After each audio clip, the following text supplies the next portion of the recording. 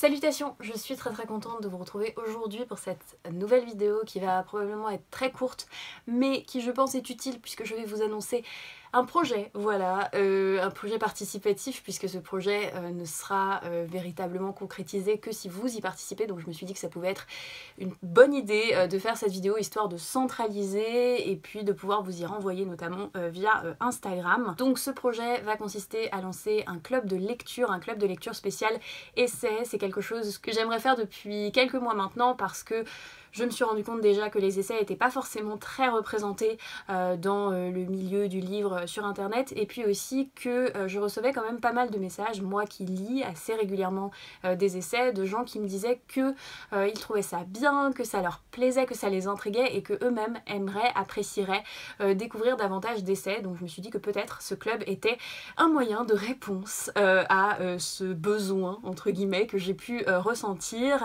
et puis que ce serait un moyen un peu différent, un peu sympa aussi euh, d'échanger euh, autour de ce genre qui est quand même assez intéressant je trouve.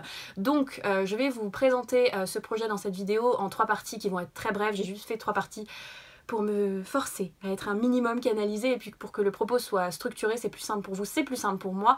Euh, donc dans la première partie, je vais vous expliquer globalement euh, quel va être le contenu de ce club de lecture. Dans la deuxième partie, je vais vous parler euh, des modalités de mise en œuvre et, des modalités d'échange. Et puis dans la troisième partie, je vais vous présenter les deux livres qui seront au programme pour le mois prochain, donc mois dans lequel nous allons commencer à mettre en place ce projet club de lecture. Donc ce club de lecture va s'appeler le Essayons Club de lecture. J'espère que vous avez vu le jeu de mots parce que tout l'attrait de ce nom repose un peu dans le jeu de mots que j'ai essayé péniblement de trouver et dont je suis au fond un petit peu fière. Essayons Club de lecture qui va donc consister pour moi à vous proposer deux titres d'essais chaque mois à partir de janvier 2021. Voilà, donc nouvelle année, nouveau mois, nouveau projet. J'espère que ça nous portera chance. Euh, deux titres qui seront donc des essais forcément et euh, j'ai décidé pour ce qui est euh, de la nature de ces essais de pas me limiter. Donc bien évidemment j'ai des domaines qui m'intéressent plus que d'autres, j'ai mes obsessions et vous allez être un petit peu dépendant de ces obsessions hein, forcément puisque c'est moi qui choisis les titres mais euh, j'espère et j'aimerais vraiment euh, que ce soit assez pluriel euh, au niveau des types d'essais donc qui est tous aussi bien de l'histoire que de l'anthropologie, que de la philosophie, que de la socio ou même que de la physique, de la chimie, de l'astronomie, pourquoi pas peut-être. en tout cas ce serait ce que j'aimerais à terme. Mais donc pour résumer ce sera donc deux essais qui pourront être de domaines différents, de matières différentes. Il y aura également pas forcément de thème. C'est quelque chose que j'essaierai de faire quand c'est possible, euh, mais de manière générale, ce sera deux essais qui juste m'ont interpellé, qui m'intéressent, qui m'intriguent, et où je me dis que ça peut être intéressant qu'ensemble on ait un échange pendant un mois euh, autour de ces deux textes. Donc voilà pour ce qui est euh, du fond. Ensuite, pour ce qui est de concrètement comment ça va se passer, ce sera donc deux essais par mois. Je vous annoncerai les titres à chaque fois au minimum 10 jours en avance pour que vous ayez le temps de vous procurer les essais, de vous renseigner également ou même de les commencer hein, si vous, vous trouvez qu'un mois c'est trop court. Mais donc euh, ce sera chaque mois deux essais annoncés 10 jours en avance et dont nous parlerons à la fin du mois. J'en arrive donc là-dessus au deuxième volet de cette vidéo qui va consister à vous expliquer assez brièvement les modalités de suivi.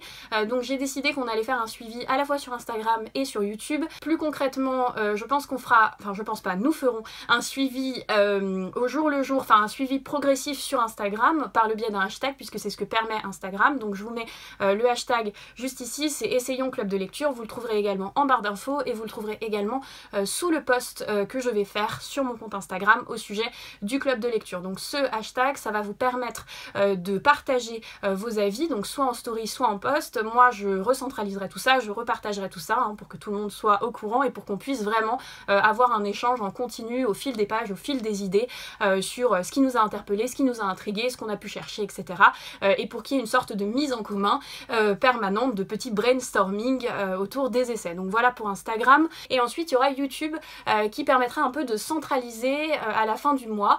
je vous proposerai chaque mois une vidéo donc qui sera dédiée au club de lecture, vidéo dans laquelle je reviendrai avec vous sur les lectures, sur mon avis, sur ce que j'ai trouvé intéressant, sur ce que je trouve important de souligner. Et puis également, si j'ai pu voir des choses circuler sur Instagram, ce sera aussi l'occasion de les mettre un peu en forme via YouTube. Donc concrètement, ce sera des sortes de points lecture mais centrés autour du club de lecture. Et puis cette vidéo club de lecture, ça sera aussi l'occasion pour moi de vous donner les titres pour le mois suivant. Donc voilà, je pense que là j'ai un peu euh, balayer tous les aspects fond, forme, modus operandi liés au club de lecture. Bon, bien évidemment, si vous avez des questions, n'hésitez pas à les poser en commentaire. Je me ferai un plaisir d'y répondre le plus consciencieusement et de manière la plus pertinente et la plus poussée possible.